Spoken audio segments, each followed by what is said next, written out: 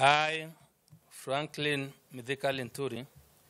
being appointed a Cabinet Secretary of Kenya, do swear that I will at all times be faithful to the Republic of Kenya,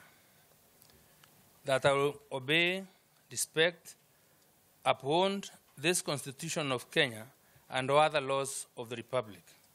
that I will well and truly serve the people and the Republic of Kenya in the office of Cabinet Secretary, that I undertake to hold my office as Cabinet Secretary with honor and dignity, that I will be a true and faithful counselor to the President for the good management of the affairs of the Republic of Kenya, that I will not divulge directly or indirectly such matters as shall come to my knowledge in the discharge of my duties and committed to my secrecy, except as may be required for the due discharge of my duties as Cabinet Secretary, and that I will perform the function of my office conscientiously and to the best of my ability. So help me God.